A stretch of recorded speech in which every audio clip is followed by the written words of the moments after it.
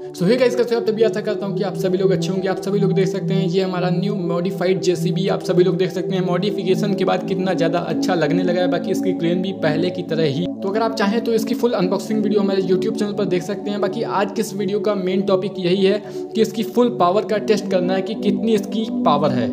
बाकी पावर का टेस्ट कायदे से करेंगे और इसके साथ कई सारी नई नई टेस्टिंग भी करेंगे। काफ़ी ज़्यादा मज़ा आने वाला आज के इस वीडियो में। वीडियो को अंत तक ज़रूर से देखिए। चलिए इस वाली वीडियो को शुरू करते हैं। तो चलो भाई, अब इसमें सेल डाल लेते हैं और चलते हैं आउटडोर ताकि इसकी हम पावर टेस्ट भी कर पाएँ काफ़ी ज़्यादा आसानी से। चलो भाई, जल्दी से इसमें हम सेल डाल लेते हैं। तो ये पड़ा हमारा पहला सेल और ये पड़ा दूसरा सेल हमारे दोनों सेल बढ़ चुके हैं और शायद ये वाला ढक्कन नहीं बंद होगा क्योंकि ये हैं एन वाले सेल ये काफ़ी ज़्यादा बड़े और पावरफुल होते हैं।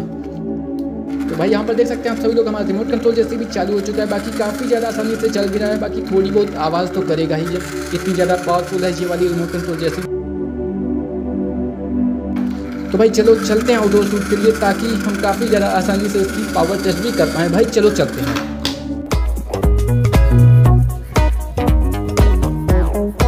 तो भाई यहाँ पर देख सकते हो आप सभी लोग हमारा रिमोट कंट्रोल जेसीबी टेस्टिंग के लिए तैयार हो चुका है। देख सकते हैं आप सभी लोग भाई। तो भाई यहाँ पर देख सकते हैं आप सभी लोग हमारा जो रिमोट कंट्रोल जेसीबी वो कितनी ज़्यादा आसानी से काम कर रहा है ताकि इसका क्रेन भी काफ़ी ज़्यादा स्ट्रेट हो चुका है। तो भाई यहाँ पर देख सकते हैं हमने इस वाले छोटे से जेसीबी की टेस्ट ड्राइव चालू कर दी और यहाँ पर देख सकते हैं आप सभी लोग, थोड़ी सी मुझे पावर में लैग अब नज़र आ रही है। चलिए इसे थोड़ा सा बैक करते हैं और यहाँ पर यहाँ पर ये देख सकते हैं आप सभी लोग लड़ चुका है और चलिए थोड़ा सा मैट पर भी चला कर देखते हैं। थोड़ी थोड़ी बहुत ही कमी आ रही है। चलिए इसकी थोड़ा सा स्पीड बढ़ाते हैं और देखते हैं कि क्या होता है। तो यहाँ पर दीवार में टच कर गया है। चलिए बैक करते हैं इसे थोड़ा सा। तो इस बार ये यहाँ तक आ चुका है। बाकी अगर हम इस बार अगर हम बात करें कि इसे मिट्टी में हम कैसे चला सकते हैं तो चलो मिट्टी में भी चला कर दिखा देते हैं।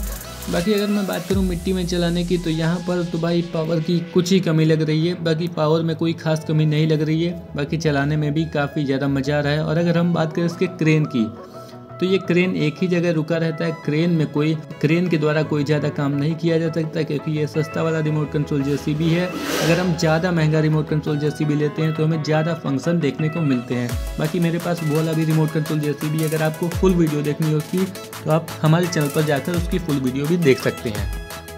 बाकी एक बात ज़रूर कहूँगा कि ये चलने में काफ़ी ज़्यादा शार्प है और अब तो मुझे लग रहा है कि इसकी पावर भी बढ़ी हुई है, काफ़ी ज़्यादा शार्प तरीके से चल रहा है और आप सभी लोग देख सकते हैं कि पावर में अब तो कोई कमी नहीं लग रही है, काफ़ी ज़्यादा तेज़ी से चल रहा है। ये वाला रिमोट कंट्रोल जैसी भी काफ़ी ज़्यादा हमने घुमा घुमा कर इससे चलाया, काफ़ी ज़्यादा मज़ा भी है इसे चलाने में।